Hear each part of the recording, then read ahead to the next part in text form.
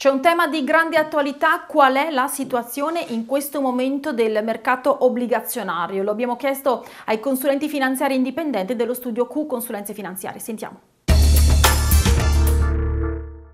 Siamo di nuovo con gli esperti dello studio Q Consulenze Finanziarie. Con Massimo Guerrieri cerchiamo di capire meglio il mondo delle obbligazioni, partendo anche dalla nuova legge recentemente entrata in vigore sul bail-in.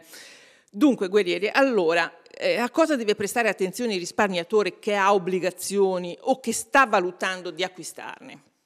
Beh, come sappiamo, comprare un'obbligazione significa comprare il debito eh, o dello Stato o di un'azienda.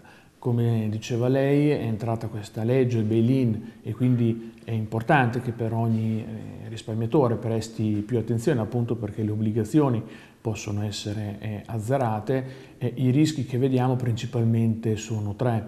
Eh, il primo è il rischio emittente, seguito poi dal rischio tassi e dal rischio illiquidità. Ehm, il rischio emittente lo reputiamo eh, eh, il rischio diciamo, più, più, più, più, grave perché proprio se sbagliamo eh, a dare i nostri soldi rischiamo proprio che non ci vengano rimborsati.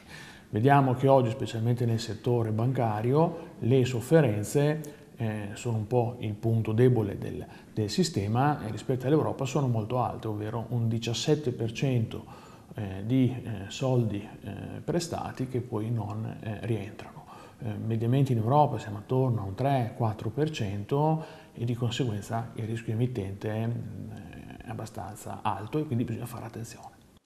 Ecco, eh, cerchiamo di capire allora bene eh, il rischio tassi di interesse, come questo rischio può eventualmente riguardare le obbligazioni.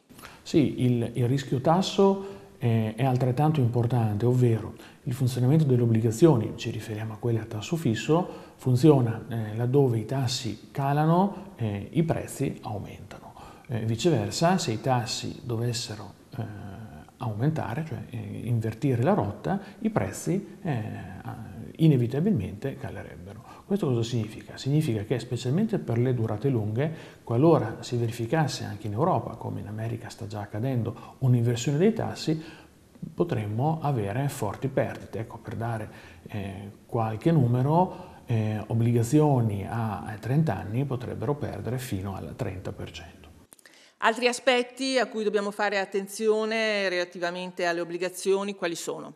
Beh, un altro rischio che è in divenire, anche se al momento non lo percepiamo, è il rischio illiquidità sulle obbligazioni, ovvero sui mercati americani è già presente, ehm, io voglio vendere la mia obbligazione perché ho bisogno di soldi piuttosto perché la reputo troppo rischiosa, non trovo una controparte che me la, me la compri. Eh, questo cosa fa sì? Fa sì non solo che io sono vincolato a tenere i miei soldi fino alla scadenza, anche contro la mia volontà, ma se poi invece la voglio vendere a tutti i costi, eh, posso perdere eh, anche eh, metà del mio patrimonio per poterla vendere. Eh, per fare un esempio, è un po' il caso degli immobili, eh, che se io voglio vendere un immobile lo devo svendere. La differenza è che l'immobile in ogni caso rimane, l'obbligazione, come dicevamo all'inizio, con il bail-in mi può essere invece può essere azzerata, quindi massima attenzione anche su questo rischio.